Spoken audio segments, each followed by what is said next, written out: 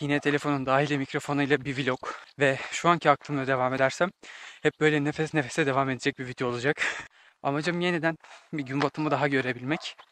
Bu yüzden böyle akşam saatlerinde yürüyüş yapmaya başladım tekrardan. Konu belirlemeden açtığım videolar hem daha çok seviliyor. Bu neden oluyor asla bilmiyorum. Belki böyle bodoslama konuştuğum için hiçbir şey hiçbir şey düşünmeden öyle aklıma geldiği gibi olduğu için. Neyse işte şöyle manzarayı göstereyim. Güneşin batmasına 27 dakika falan kaldı. İfli olmaz bir çıkmazın içine düştüm. Bir gün yürüyüşe tişörtle geliyorum mesela. Diyorum ki ya bugün fazla ısınamadım. O yüzden evde de biraz kardiyo yapayım. Eksik kalıyor biraz yaptığım spor. Ama Temmuz sıcağında da böyle kapüşonluyla gelince kapüşonlu değil hoodie mi diyorlar ne işte ondan daha yolun yarısında tıkanmaya böyle bunalmaya başlıyorum. Sonra diyorum ki bir daha asla bunu giymem çok sıcak oldu. Ertesi gün dönüp tişört giyiyorum sonra tekrar bunu böyle saçma bir ruh halinin içine düştüm. Bu manzara güzeldi. Biraz daha güzeline götüreceğim size. Orayı da gösterdikten sonra hedefimiz şurası.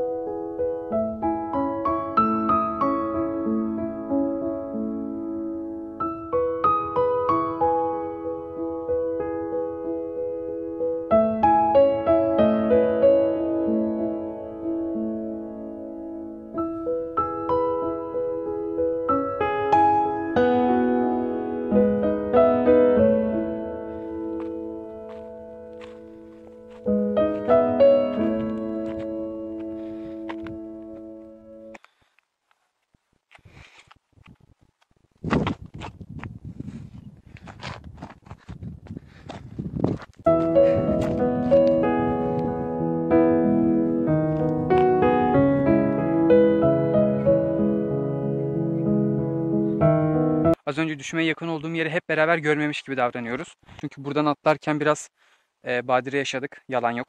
Şimdi şurayı göstereyim. Aslında burası çok yüksek ama gözükmüyor. Yani nasıl belli edeceğim bilmiyorum. Böyle bir boy versem atlasam acaba görür müsün? Şurası var.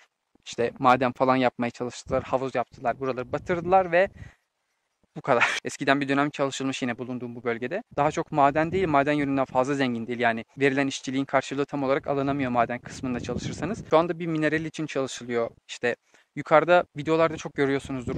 Ee, böyle mavili siyahlı borular var. Onlarla yukarıdaki ocaklardan aşağıya yani bu bulunan kısma burada çalışılan makinalara gönderiliyor o madenler, mineraller.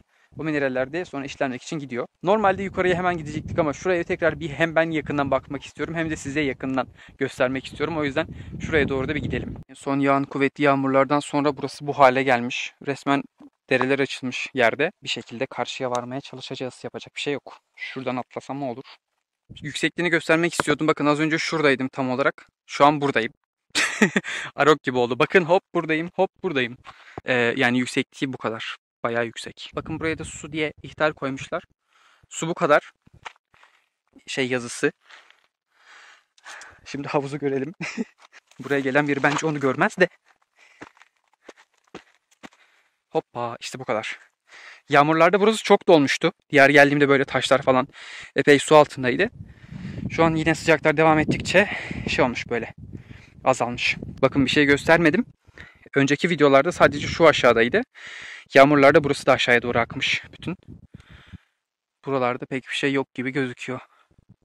Bunlar zaten yıkıntı. Hani böyle gün içinde rüzgarlı hafif suyla da e, düşen malzemeler. Burada köpek izleri falan var. Dolaşmışlar etmişler. Yo domuz izi falan da var. Ha bu ne? Kurbağa var mesela bakın. Şu an geziyorlar suyun içinde.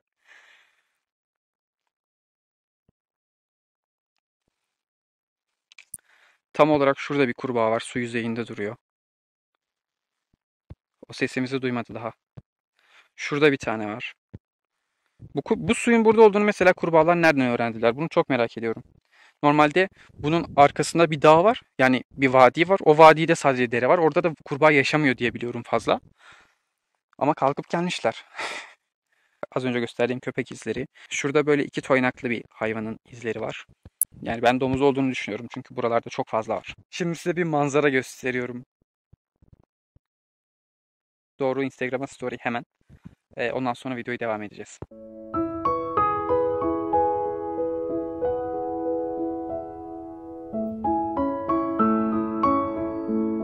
Kurbağa yavruları. Demek ki buralarda böyle çamurların içinde falan yürüyorlar böyle. Yoksa o kadar kurbağanın birdenbire bu kadar gelmesi çok normal değildi zaten. Bir şeylere bakacağız diye geldik. Burada batıp kalacağım şimdi. Muazzam manzara ya. Neyse şimdi yukarıya gidelim önce. Sonrasında ay zaten yükselmiş olacak biraz. Buradan böyle yansımayla çekerim dönüşte.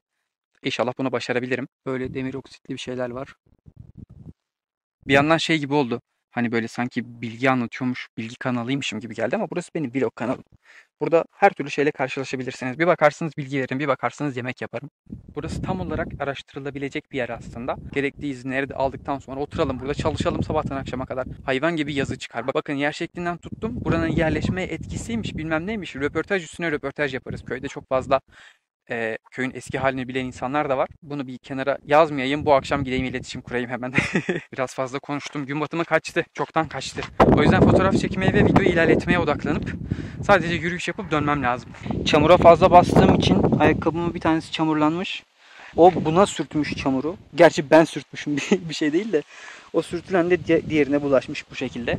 Böylece çamur içinde de kalmış oldum. Bu arada eve dönmüyorum. Akşam oldu geç kaldım falan dedim ama bu şekilde alt yol var. Bu da bir vadi kenarında ilerliyor. Size benim küçükken yapımında çalıştığım ama çok küçükken böyle daha 3 3 yaşına gelemem. 4-5 yaşlarında falan yapımına geldiğim, yapılırken şahide olduğum çeşmeye götürüyorum.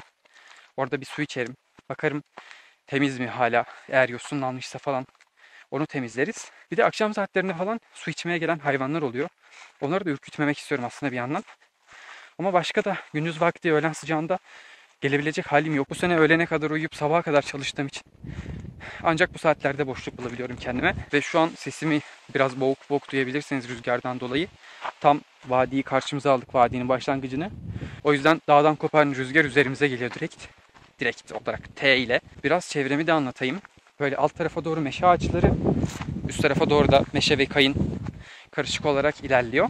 Biraz şöyle çevireyim konuşmaya devam edeyim. Eskiden dağın tamamı bu şekildeymiş. Yani meşe ve kayın ağaçları karışıklık gösteriyormuş orman yapısında.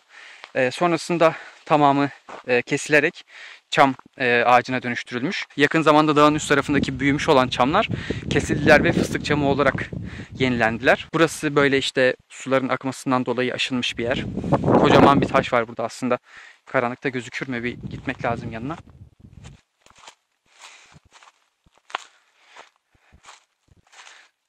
Sular aşındırmış, aşındırmış ve son olarak bu hale gelmiş. Üst tarafı hemen yürüyerek gideceğimiz yerde aslında. Buradan böyle geçecektik.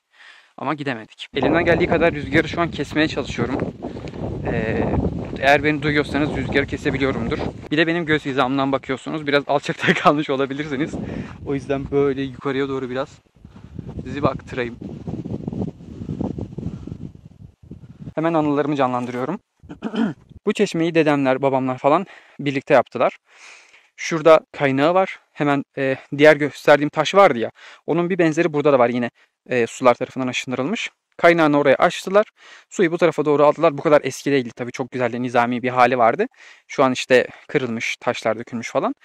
Buraya kadar traktörle gelmişlerdi. O zamanlar dağ yolları falan çok dar böyle hani e, hoplaya zıplaya geliyoruz şeyde arkada römorkun arkasında. Şuraya kadar traktör geldi. Oradan tuğla taşımamız gerekiyor buraya. Bir de bir yandan kaynak kısmına bidon yerleştiriyorlar. işte e, hortumlarını falan çekiyorlar. Öbür yandan burada can huraş böyle şey yapıyorlar. E, çimento karmaya çalışıyorlar. Biz de işte ben, kuzenim, kardeşlerim falan buradan e, traktörün arkasından alıp tuğlaları buraya doğru getiriyoruz. Oyun oynama esnasında işte buradan sular gelmiş yavaş yavaş yola doğru gidiyor hafiften. Çünkü daha e, su bağlanmadığı için e, suyu buraya aşağıya doğru verdiler. Ben buradan geriye doğru giderken gerisin geri düştüm. Ve tam olarak şurada bir yerde çamur içinde battım kaldım manda gibi yuvarlandım orada. Ya bu benim hiç unutamayacağım bir anıydı. Çünkü o gün içinde işte çamurlandım mı diye düşünüp bir yandan iş yapmaya çalışmak. Buranın yapımında var olmuş olmak, burayı e, biliyor olmak. Yani ne bileyim yukarıda mesela bir tane çeşme şu an tahrip edildi. Yani e, farklı bir iş için yıkılmış durumda. Orasını da küçüklüğümden beri biliyorum. E, tekrardan suyunu falan bağladılar. Yani yok olması, gözlerimin önünde kayboluyor olması beni biraz dehşete düşürüyor. Diyorum ki ya benim burada yaşantım var. Hani nasıl gelip bu şekilde e, yıkılıp tahrip edilebiliyor buralar falan. O yüzden elimden geldiği kadar herhangi bir yerde değişiklik yapmamaya, sadece beni etkileyebilecek, diğer insanların müdahil olamayacağı şekilde yapmaya çalışıyorum. Şimdi sizi vadinin başlangıcına kadar götürmek isterdim. Oradan da bir dere akıyor aşağıya doğru.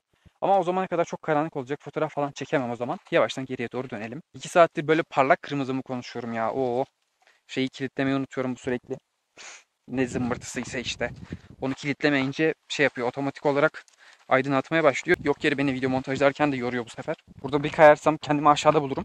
O yüzden biraz daha dikkatli, yavaş gitmem lazım. Ki az önce gördüğünüz halimi. Lensini nasıl şey yapabilirim? Genişletebilirim. Biraz daha geniş dursa güzel olmaz mı sizce de? Aa şu neydi bunlar? Gece kuşu mu diyorlardı? Gece böcüğü mü? Cır cır cır ötmeye başladılar. Umarım ses geliyordur. Biraz daha yaklaşayım. Yanlış yere gelmişiz. Orası aşağıda kaldı. Sonu biten yol yapmışlar. Gece buradan gelsem demek ki aşağıya ineceğim. Geldim ve muazzam bir yerde yetiştim şu an. Şöyle göstereceğim. Tam şuraya bir yere yansıyor şu an ay ışığı. Yakınlaştığımda büyük ihtimalle o suyun yüzeyinden de yakalayabileceğiz. Umarım yakalayabileceğiz. Evet. Şu an ne kadar kaliteli gözüküyor görüntü bilmiyorum ama e, 4K şu an çekemedim. Çünkü hazırlaması falan gerekiyor onu. O yüzden 1080'de ne kadar çekiyorum? 60 çekiyorum. Umarım güzel gözüküyor idir. Ee, aa, olmuyor bir dakika. Uzak mı kalıyor? Yok. Ne yapmam gerekiyor? Biraz çömelmem gerekiyor. E hani yansamıyor bir şey olmuyor. yaptım. Vallahi yaptım. Dik çevirdim. Durun bir dakika.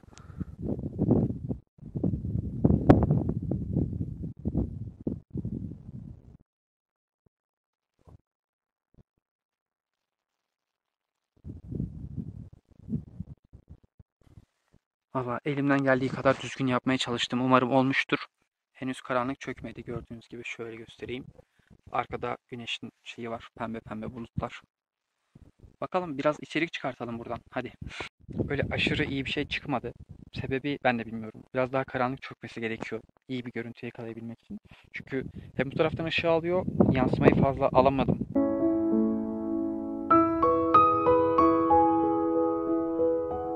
Asıl manzara burada değil. Tam olarak buradaymış. Bakın çok güzel gözüküyor. Yani biraz daha nasıl diyeyim? Bu ayarlarını biraz daha oynattıktan sonra bu kameranın iyi bir şey çekeceğimi düşünüyorum. Burası da iyi ama bu güneş bir batmış olsaydı şuranın görüntüsünü çok daha iyi alacaktık. Neyse. Yavaştan kaçıyoruz. Evet o. Böyle benim akşamlarım genelde 2'den sonra yatsıya kadarki olan kısım böyle geçiyor. Şimdi tekrar bakın böyle manzarayı tek tek göstere göstere bu akşam bir hal olduk. Video çekmesi, fotoğraf çekmesi böyle çok zor bir şey değil. Hani açıyorsunuz kamerayı, konuşuyorsunuz, eninde sonunda bir şekilde toparlanıyor. Ama mesela o kadar çok boş konuştum ki bugün. Neredeyse 47 dakika falan kaydım var. Editle editle bitmiyor. Yani diyorum ki e ben bunu söylemişim zaten. Sonra dönüyorum 15 dakika sonra aynı şeyi tekrar tekrar etmişim mesela. Bunu kırpıyorum. Beklediğim yerler var bazen. Onları kırpıyorum. Nefes alıp verdiğim yerleri bazen kırptığım oluyor. Sıkıcı olmasın, pıt pıt pıt geçsin diye. Yani bence video çekmek çok kolay bir şey. Ama editlemek konusunda aynısını söyleyemeyeceğim. Biraz çenemi kapatayım da şu sesleri dinleyin. Çok güzel sesler var. Beni dinlemekten duyamıyorsunuz.